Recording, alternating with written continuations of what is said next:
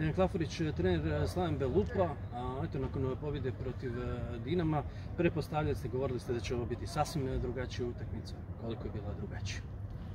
Apsolutno bila je puno drugačija nego protiv Dinama, drugačiji protivnik, drugi dan, sve drugačije, ali naravno to je tako u nogometu, nijedna utakmica nije ista. To smo znali i u pripremu utakmicu smo se tako i pripremali. E, apsolutno zaslužena pobjeda Lokomotive, čestitam Lokomotivi, bili su bolji danas u svemu, brži od nas, e, nametnuli su svoju igru, e, stvarali su nam trokute, lako su nam izlazili iz zadnje linije preko trokuta sa Kačavendom na na desnoj strani sa Livom, na lijevoj strani sa Pivarićem.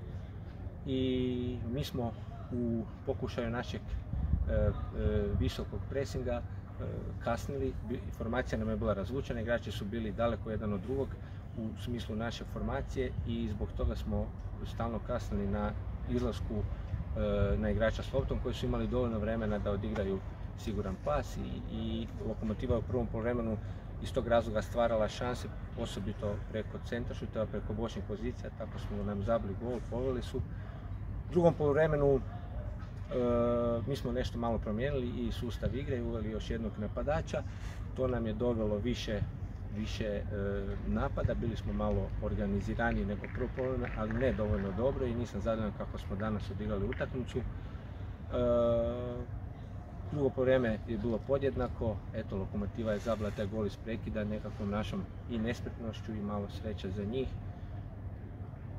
Ali opet, u konačnici zaslužena pobjeda Lokomotive. Mogli smo zadržati taj bod i ostati na bodu, tako da, to je to. To je nogomet. Za očekivati u ovakvim, pogotovo domaćim utakmicama protiv protivnika koji su tu negdje kao vi, da e, ćete pokušavati nešto više raditi prema naprijed. Ovoga puta niste imali previše tih mogućnosti prema naprijed, jer to je ono što ste govorili, kasnili ste prema tim e, izlascima i uzimanju lopte. Da, je, sigurno je tako. E, danas nismo bili dobri u igri prema naprijed, što smo danas trebali raditi više nego u igri protiv Dinama, jer ta utakmica je bila takvog e, drugog karaktera u smislu više orijentacije praktično samo na kontranapad. Ovdje nismo svi niti e, kreirali situacije za mogućnost kontranapada zbog e, samog načina igre lokomotive, ali i u organizaciji igre smo podbacili.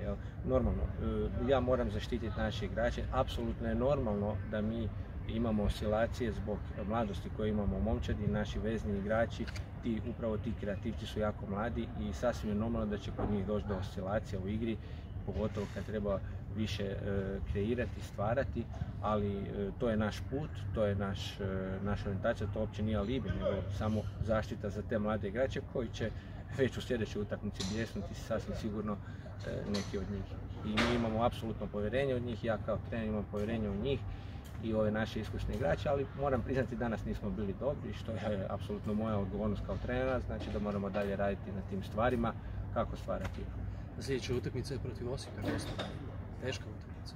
Apsolutno teška, možemo reći da nas čeka nešto slično kao protiv Dinama, e, i zbog momenta u kojem se nalazi Osijek, a i zbog e, sastava igrača koje Osijek ima, oni su uz Dinamo naša najbolja momčad i sigurno je njihova e, njihov cilj je napad Dinama, na osvajanje prvog mjesta ili neke titule ili kupa. Dakle, mi idemo na utakmicu, ali idemo hrabro na tu utakmicu e, za, isto kao što smo išli protiv Dinama. Hvala i puno sreću u Hvala vam.